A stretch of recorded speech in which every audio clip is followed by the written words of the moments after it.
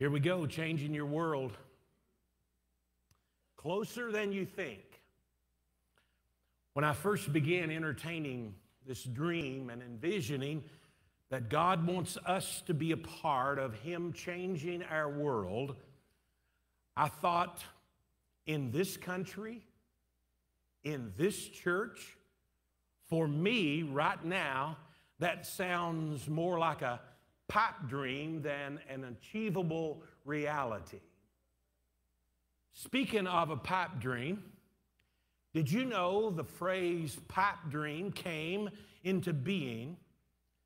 It was believed it originated about 1890, and it was referencing a person who must be smoking opium in a pipe when they spoke of seemingly unachievable goals and the outlandish being achievable. Now, to put it in today's vernacular, you must be smoking crack.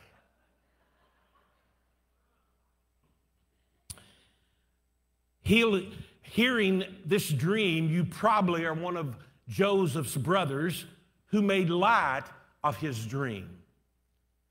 And when they saw him coming, they sarcastically called him the dreamer. They said, Do you actually think that we're going to bow, that you're going to rule over us and we're going to bow to you? Or maybe we're like Joseph's father. When Joseph told his dream to Jacob, Jacob scolded him. Often, when our vision sounds so far off, so near impossible, that it draws the sharpest criticism. We may be referred to as the dreamer. A dream, a vision begins with an honest assessment of what is, a mental image of what it could be, and the faith to follow God, making it what He would have it to be. I have assessed the state of the church and the condition of our nation. As I read the book of Acts and as I study the history of awakenings or revival, I gain a mental image of what could once again be. God is raising up his people with spiritual sand who are seeking the Holy Spirit to do what God wants to be done. And I believe this is where we find ourselves right now God raising up people who are hungry for the holy. As you probably can imagine, my arguments and argumentative mood began when I considered the Holy Spirit is calling me to be one of those thousands that will lead Christians in changing our world. My response was similar to God telling a very old Sarah she was going to have a baby. She laughed. Here's my abbreviated list of arguments with God. When I started thinking that I'm actually, or maybe I began asking, am I actually being called to do this? It's one thing to have it in here, but it's another thing to get in front of people and begin speaking this stuff. And so I began asking myself, am I actually called to do this? Is this a pipe dream or is this a call of God? There are things that was in my own life that I said, well, Lord, this needs to be changed in my own life. And, and I, I told the Lord, there's things that the Bellefontaine First Church of God that needs changing. And then I thought there was things in the disciples' life that needed changing when God called them to change the world.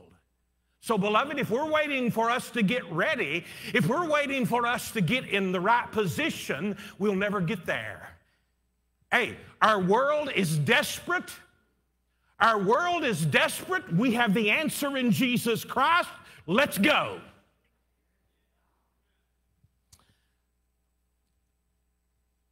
My line of arguments took on other angles, like my mind isn't sharp enough. If you all say amen, I will call you out.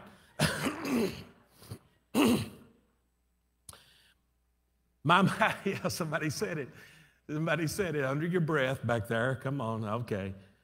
So, so I began arguing with the Lord. Lord, my mind isn't sharp enough. My body isn't strong enough. My energy level isn't high enough. The people I lead isn't ready enough. And on the list went. And once again, I believe the Holy Spirit witnessed to my inner spirit, and He simply said, But I am more than enough.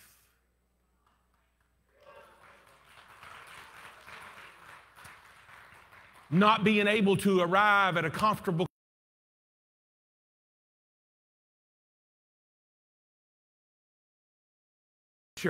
seeking resources, trying to discern the mind of God. All the while, I'm telling the Lord, Lord, if I start speaking this stuff and you ain't doing this stuff, I'm going to look really uninformed and ignorant, and that's putting it mildly.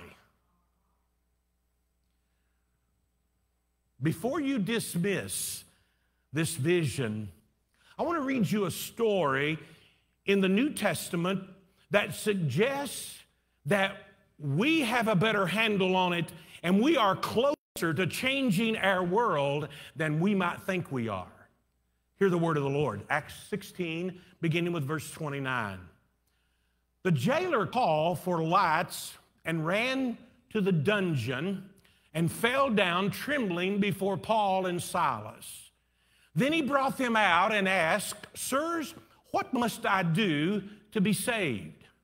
They replied, Believe in the Lord Jesus Christ, and you will be saved along with everyone in your household. Now, listen, men, husbands, fathers, I want you to grasp something here. You are God's appointed priest for your house. And I'm telling you, when we begin to grasp that, we may realize, you know what? This thing is doable. Come on, let me read the rest of this. Along with you shall be saved along with everyone in your house. And they shared the word of the Lord with him and with all who lived in his household.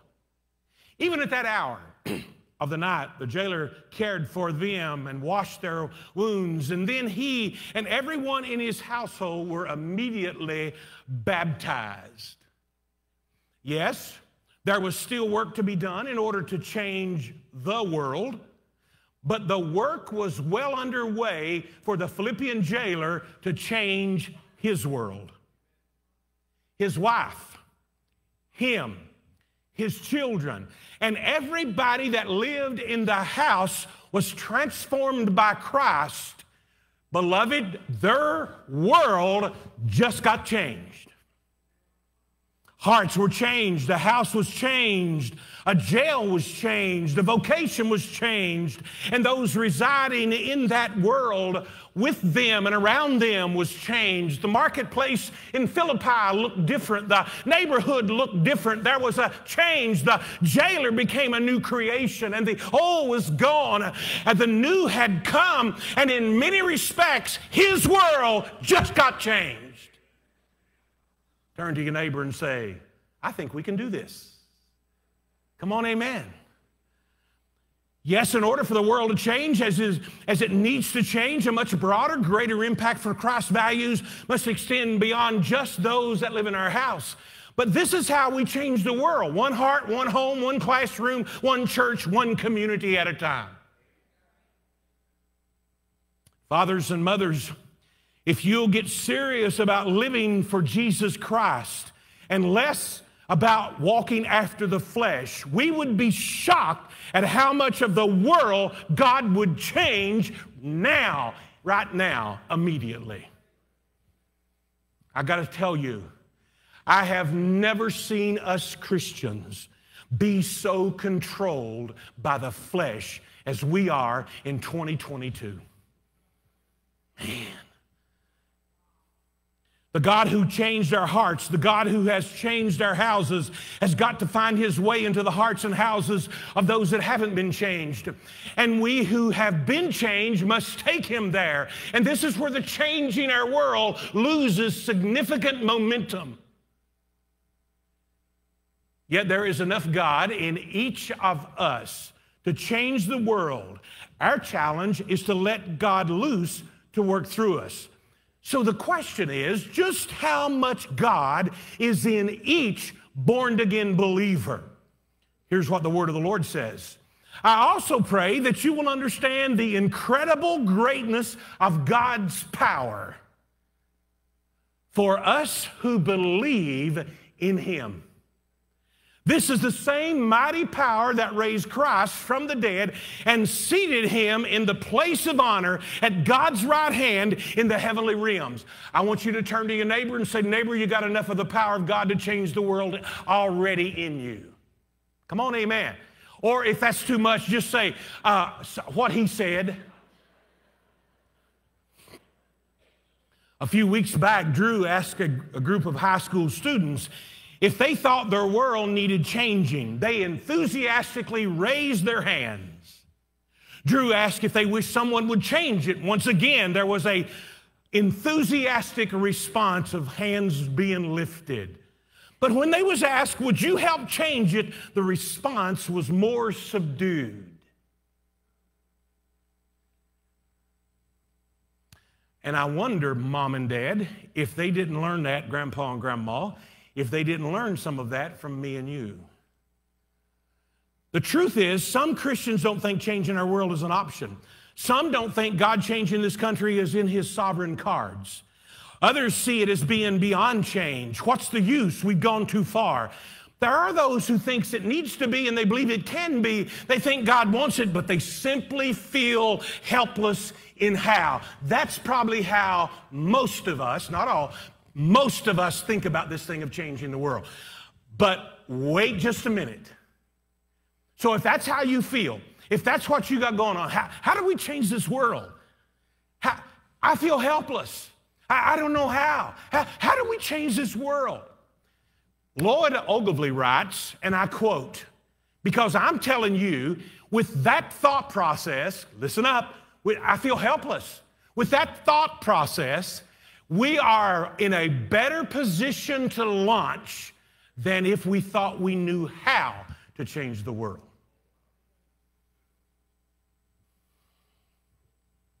Lloyd Ogilvie writes, and I quote, each time we acknowledge our inadequacy, the Holy Spirit fills our emptiness to carry out Christ's ministry and mission. And then listen to this statement when the needs of the world breaks our heart and the adequacy of the gospel grasp our mind, the Holy Spirit has us right where He wants us.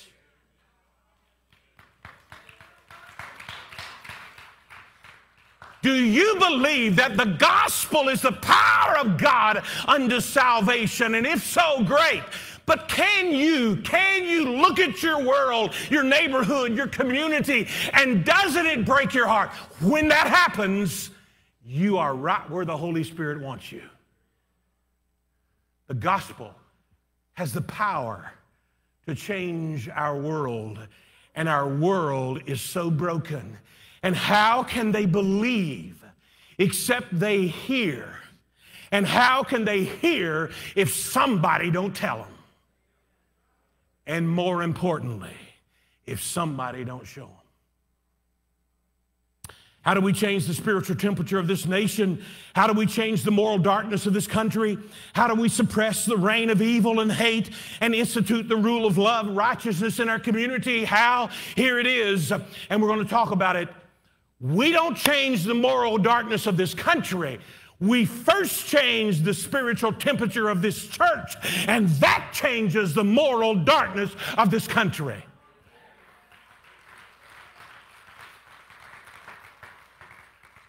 So if the spiritual temperature of 1000 Brown Avenue, and if the, and if the spiritual temperature at West Liberty, and the spiritual temperature at Crossstair King, the spiritual temperature at Vineyard, the spiritual temperature at the Methodist and the Presbyterian, if the spiritual temperature begins registering red hot, I promise you, there will be light and salt permeating the darkness and the decay of our culture.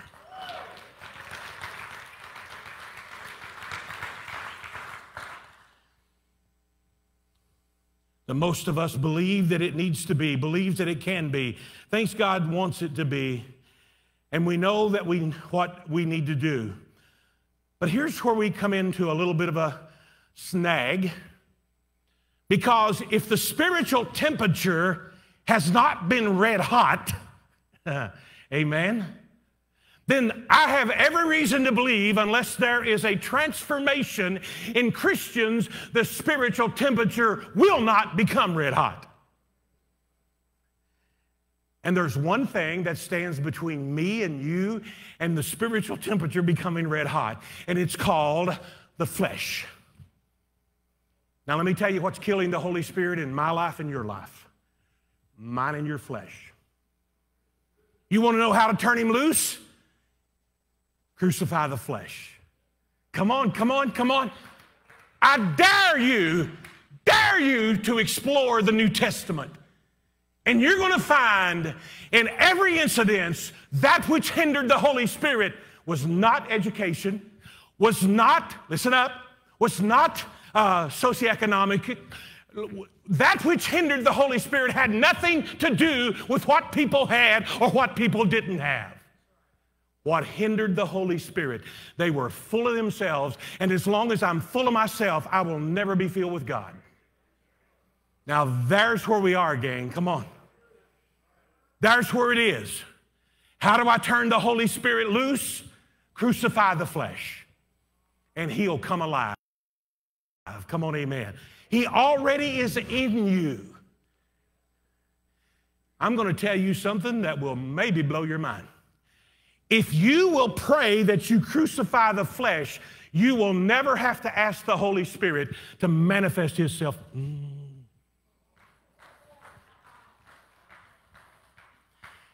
Do you have to tell an apple tree to bear fruit? Do you have to ask a pear tree to bear pears? Come on. I'm just saying to you. Here's the, here's the deal, gang. I believe the enemy, the enemy is so deceptive.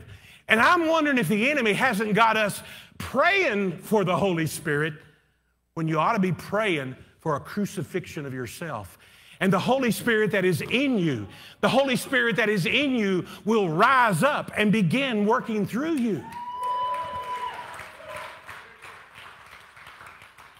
You say, I don't know how to receive the Holy Spirit. First of all, you already have received the Holy Spirit. If you're born again, on the authority of Scripture, the Holy Spirit is in you. If He isn't in you, then you do not belong to Jesus. I didn't say that, Paul did. He's there.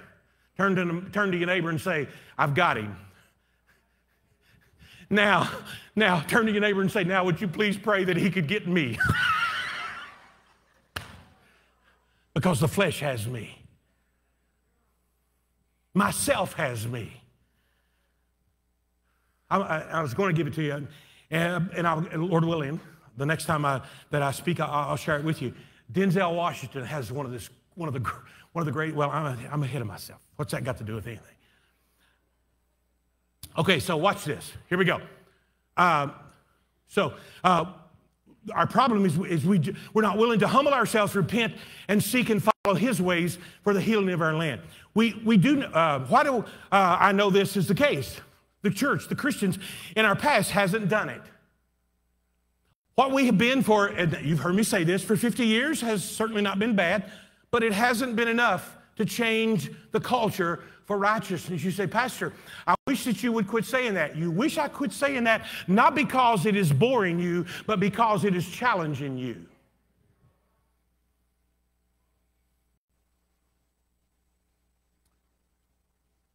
What I did in pastoral ministry for 42 years was not bad. But from where I'm standing this morning, it wasn't enough. And the reason that I say that it wasn't enough is look at our culture. There is no way that you can coincide a church on fire for Jesus. And when I say church, I don't mean one local congregation. But there's no way that you can coincide, there's no way that you can reconcile in your mind how the church in America could be on fire for Jesus and the culture being decaying at the same time. Can't be. Can't be. So I'm here to say to you what I was in ministry for 42 years, not bad. But, it, but it, where I'm standing this, this, from where I'm standing this morning, it has not been enough. And I've got to repent of that. I have repented of that. And you've got to repent of that.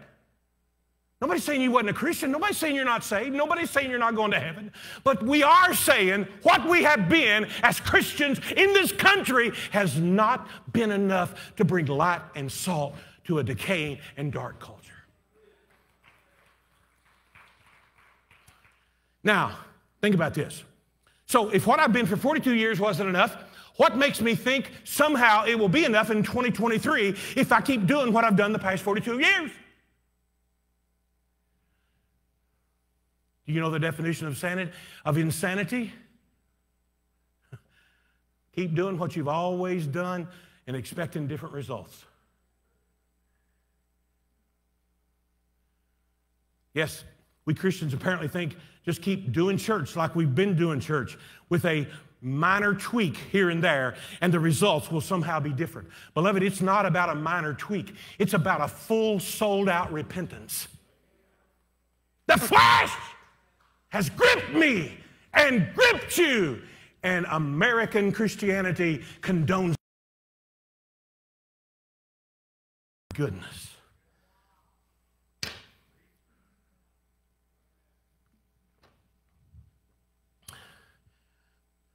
So, here we go.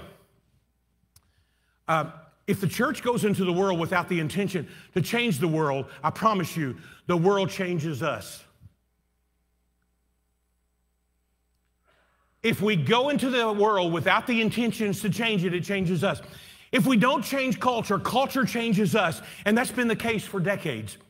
And here we are, barely surviving the culture. Some suggest that Christianity as we know it won't survive the continued uh, culture in this decline. This is one reason that kids and student ministries paradigm must shift from teaching kids how to survive the culture to training them to how to change the culture.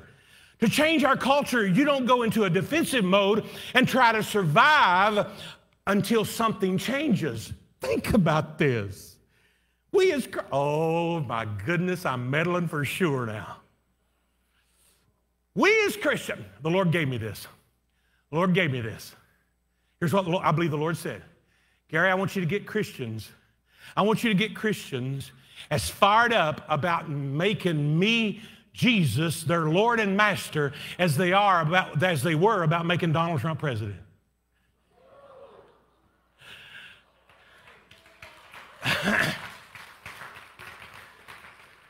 now, if you was if you was fired up about making Donald Trump president, I, I you know I, I hear you. I hear you. But I'm telling you, think about something with me just for a moment, if you would. Are we not, now listen, are we not trying to survive this culture until something changes?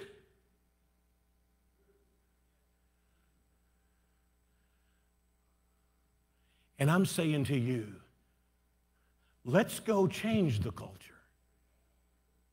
And beloved, something will definitely change. Let's those of us who have salt and light, go change the culture. Whatever Christianity has been in our nation for the past 50 years must change. Change from Christianity American style to New Testament standard of being a disciple of Jesus Christ. We must see and confess our error of the past and repent and be transformed by, into a New Testament standard of being a disciple of Jesus. I pray that we see the shallowness, the lack of depth in Christian living in America. I pray that we see uh, that we are not that we see that we are not salt and light in a dark, decaying civilization. I pray that we see our light has been put under a basket and no one is finding their way home. I pray that we see that our salt has lost its savor and culture has decayed. I pray that we see our love for the Savior is lukewarm and heaven is in a state of regurgitating. As long as we think the church of the past years is okay, then a call to repentance and turn to something that is more New Testament centered is a mute point. The church of the past is not okay. If it was, we would not be in the mess that our community and our country is in. Because salt and light, salt preserves and light informs and shines. Bill Neese writes, and I quote, since the time of Old Testament judges, the spiritual condition of God's people has alternated between awakenings and apostasies. The spiritual tide of the church, he goes on and says, has always ebbed and flowed. Think about it. And as you study the history of the church, you can see. You will see that, that there was times that the anointing of the Holy Spirit and the outpouring of the Holy Spirit was oceans and the book of Acts is a good place to look at that ocean, sweeping people into the kingdom. Come on, amen. But if you study history, you also know there is times that the anointing and the light of the gospel and the proclamation of the good news was a narrow stream. Do you know why we refer to those as the dark ages? From a Christian perspective was because the light was so little and the salt was so sparse. I'm getting ahead of myself, so I won't quote, but I have a quote here by Larry Stockstill, and I'll give it to you just in a second. He goes on, Dr. Neese does. So, whatever, he says this whatever position the church occupies, the world soon reflects. As the church goes, so goes the world. But looking at the moral condition of our world, I would say the church is in a serious state of apostasy. Larry Stockstill writes, and I quote, It's amazing to me, he says, that as our churches grow larger numerically, our nation grows darker morally.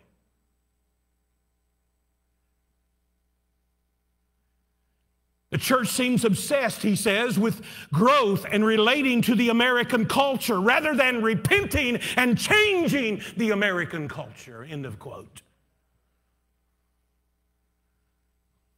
God has begun judgment at his house for Christianity's duplicity, judging to discipline us, not to destroy us, judging to awaken us, to revive us, to correct us, so our world will be changed through us. If my people who are called by my name will humble themselves, come on, gang and pray and seek my face and turn from their wicked ways, I will hear from heaven, I'll forgive their sins, and I'll heal their land. God has ordained only one method to do radical surgery upon society, only one means by which He invade mankind's problem with a supernatural solution. If my people will, then I will. The implication is if my people don't, then I won't. And beloved, we haven't, and He hasn't. How many of you are up for changing the world? How many of you are up for changing the church, making it more and more like New Testament disciples and less and less like American Christianity? God isn't calling this country back to Him, He is calling this church back to Him, and the country will follow.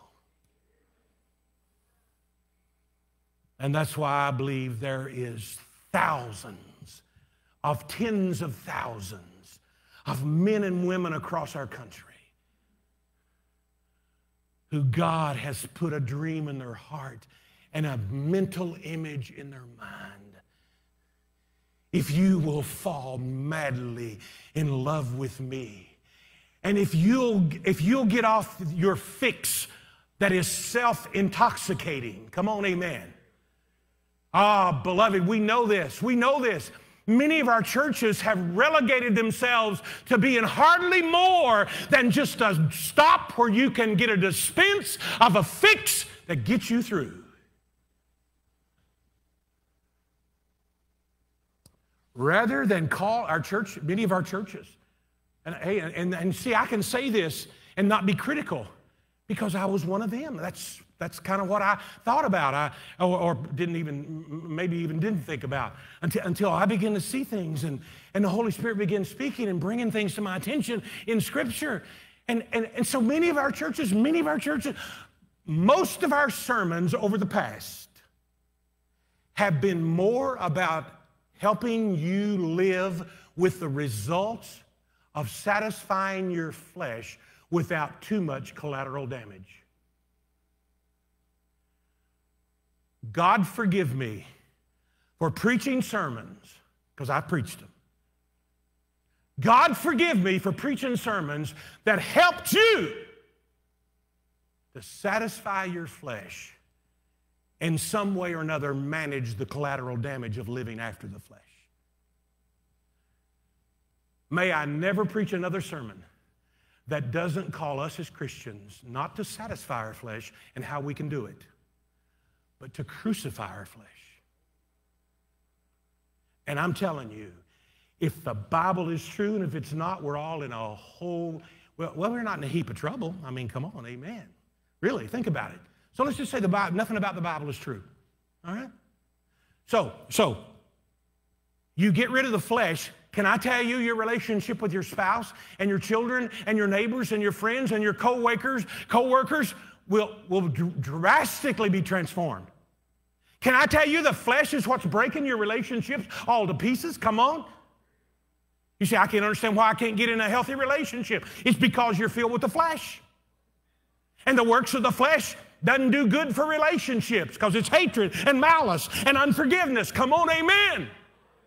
But the fruit of the Spirit is love and peace and joy. Oh, that's the stuff. Gentleness, self control, long suffering. That's the stuff that builds good relationships with folk.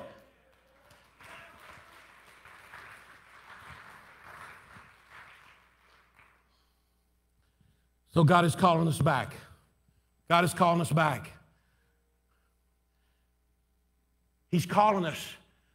And, and you said, so we're saying we need to repent from. What do we need to repent to?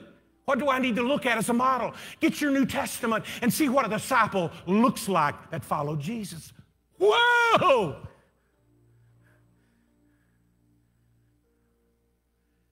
And I will tell you, him or her, him or her was just so fired up about following and honoring Jesus Christ. He was their first love. God isn't calling this country back to him, he's calling this church back to him. I believe that we may be one sincere, repentive prayer away from a world changing awakening. I believe it's in sovereign cards. Come on, amen. I believe it's in God's, I believe it's in God's order to send an awakening to our country. Now that don't mean one's coming. But if my people will humble themselves and seek my face and turn from their self-intoxicating ways, wicked, and pray, I will forgive their sin and I will heal their land. Could we be one repentant prayer away from a world changing awakening? And you say, well, whose prayer is it? Yours.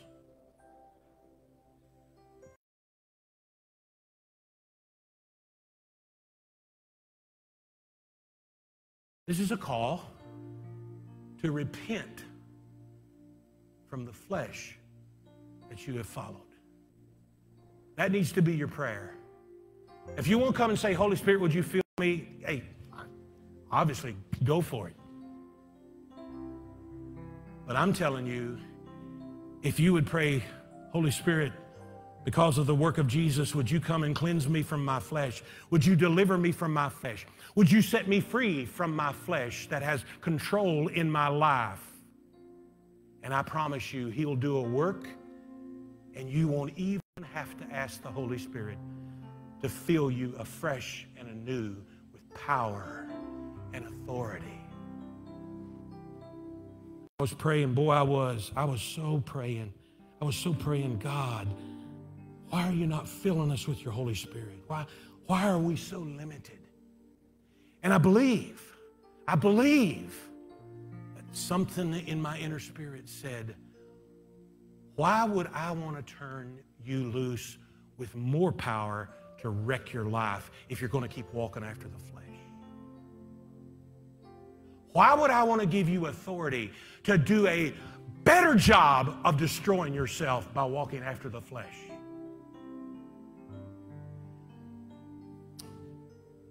Today, this is a call for me and you to repent. This is our call for a repentive prayer. Oh God, forgive me. I have lived my Christian life a great deal about doing it my way, on my terms, at my convenience. No more.